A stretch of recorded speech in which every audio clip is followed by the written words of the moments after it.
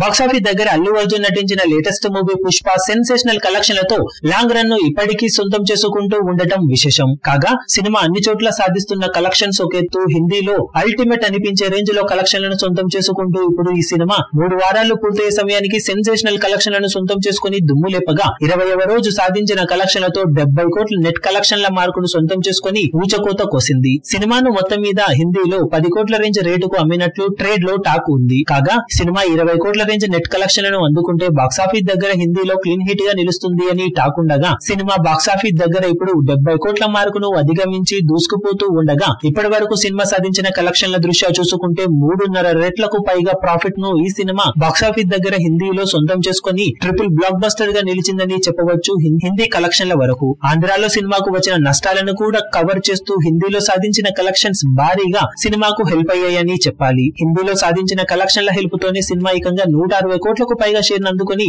దుమ్ము దులిపేసింది. ఇప్పటికీ long run ఇంకా సాలిడ్ గానే అక్కడ కొనసాగిస్తున్న కారణంగా థియేటర్స్ను కూడా ఇంకా భారీగానే హోల్డ్ చేస్తూ ఉండటంతో లాంగ్ రన్లో ఈజీగా ఈ సినిమా ఎనభై తొంభై కోట్ల వరకు వెళ్ళే అవకాశం తొంభై నుండి వంద కోట్లకు వెళ్ళే అవుట్ ట్రేడ్ ఛాన్స్ కూడా ఉందని ట్రేడ్ వర్గాలు చెబుతూ ఉండటం విశేషమని చెప్పవచ్చు. ఈ వీడియో మీకు నచ్చినట్లయితే లైక్ చేయండి షేర్ చేయండి ఛానల్ను సబ్స్క్రైబ్ చేయడం మాత్రం మరవకండి. ఏ చిన్న అప్డేట్ను మిస్ అవ్వకూడదు అనుకుంటే బెల్ ఐకాన్ను ప్రెస్ చేయండి.